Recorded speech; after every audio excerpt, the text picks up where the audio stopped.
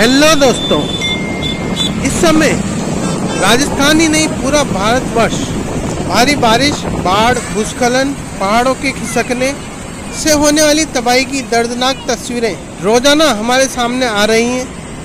कोटा संभाग में भी पिछले कुछ दिनों से लगातार भारी बारिश होने के कारण गांधी सागर डैम लगभग फुल हो चुका है।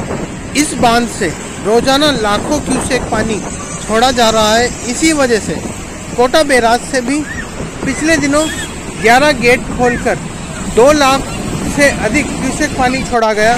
दोस्तों, पानी की निकासी के इस भव्य नज़ारे को देखने के लिए आज हम आए हैं कोटा बैराज डैम पर। और आप देख रहे हैं यहाँ पर किस तरह लोगों की भीड़ हो रही है।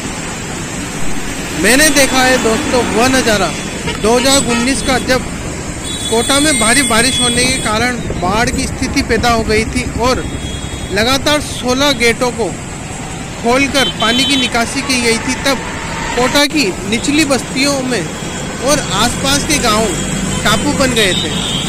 घर और दुकानों में एक एक दो दो मंजिल तक पानी भरा हुआ था।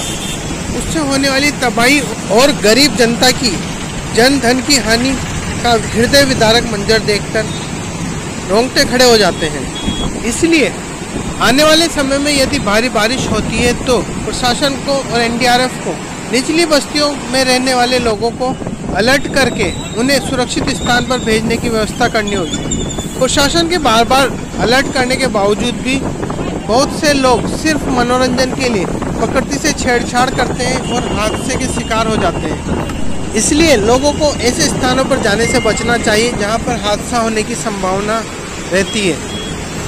जैसा कि आप देख रहे हैं, यहाँ चंबल नदी के दोनों किनारों पर चंबल रिवर फ्रंट प्रोजेक्ट का कार्य बड़ी तेज़ी से चल रहा है और पिछले दिनों जब यहाँ पर 11 गेट खोलकर पानी की निकासी की गई थी, तब दो जैसी भी मशीनें भी बह गई थी, जिन्हें सुरक्षित निकाल लिया गया बाद में। परंतु चंबल रिवर फ्रंट पर कोई नुकसान नहीं हुआ था। दोस्तों, यदि आपको हमारा आज का ये वीडियो पसंद आया हो तो हमारे वीडियो को लाइक करें, शेयर करें, कमेंट करें और चैनल को सब्सक्राइब करें तथा घंटी के बटन को भी दबा लें ताकि हमारी आने वाली वीडियो की नोटिफिकेशन आपको सबसे पहले मिल सके। तो आज के लिए बस इतना ही। आपसे फिर किसी नए वीडियो में मुलाकात होगी। तब तक के लिए जय हिंद, जय भारत। आपका बहुत बहुत धन्यवाद।